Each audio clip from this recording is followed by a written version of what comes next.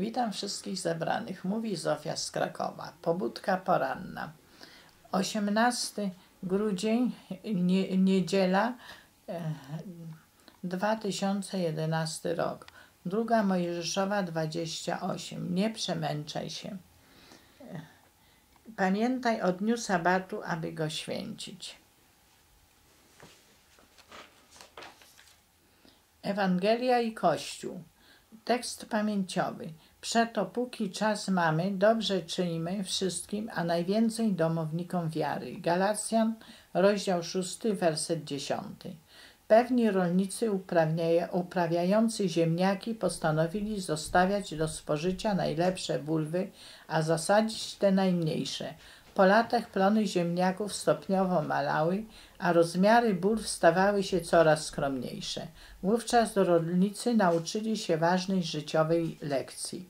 Zrozumieli, że nie mogą zostawiać sobie tego, co najlepsze, a inwestować w przyszłość resztek. Prawo życia jest takie, że co człowiek sieje, to będziesz zbierał.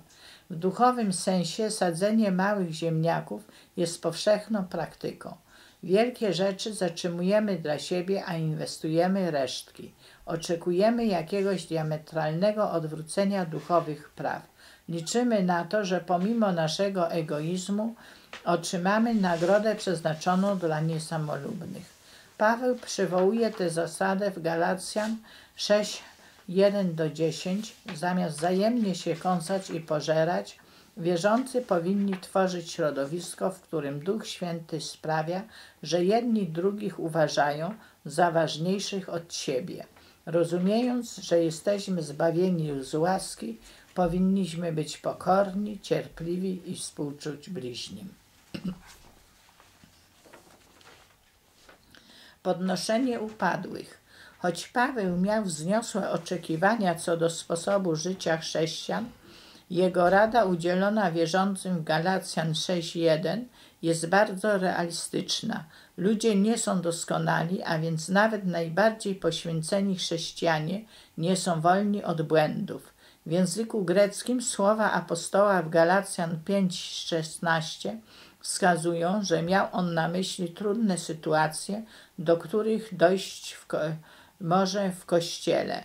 Paweł udzielił więc Galatom praktycznej rady, jak uporać się z problemami, które się pojawiają. Jak powinni zareagować chrześcijanie, gdy ich współwierzący upada i postępuje w sposób grzeszny. Zobacz Galacjan 6:1.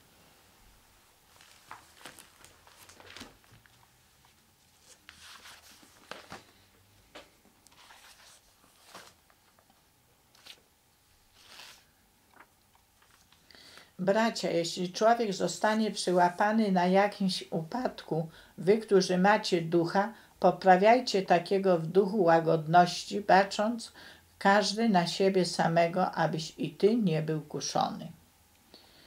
Mateusz 18, werset 15 do 17.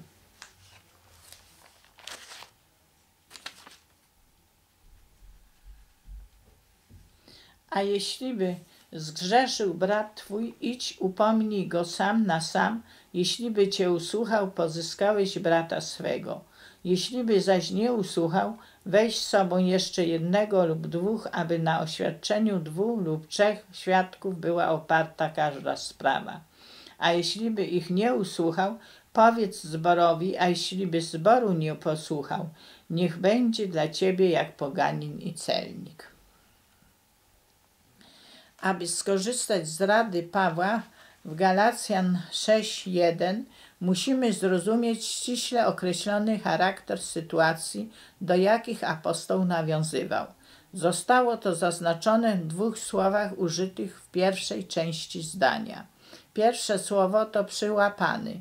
Kontekst i niuanse związane z tym słowem sugerują, że Paweł miał na myśli dwa jego aspekty – Chodzi nie tylko o to, że jeden wierzący przyłapuje drugiego na jakimś grzechu, ale także o to, że wierzący może być złapany przez samo takie zachowanie, którego z całej siły pragną uniknąć. Założenie, iż niewłaściwe postępowanie, o którym mówi apostoł, nie jest czynione z premedytacją, wynika z użytego słownictwa.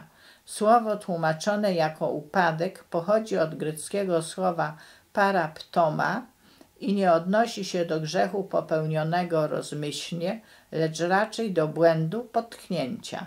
To ostatnie znaczenie nabiera szczególnego sensu w świetle poprzedniego stwierdzenia Pawła o chodzeniu w duchu. Choć w żaden sposób nie usprawiedliwia to błędu wierzącego, to jednak wyjaśnia, że apostoł nie mówi tu o, przypa o przypadkach bezczelnego i celowego trwania w grzechu. W takich sytuacjach właściwą reakcją nie powinno być karanie, potępianie czy wykluczanie, ale próba podniesienia upadłych.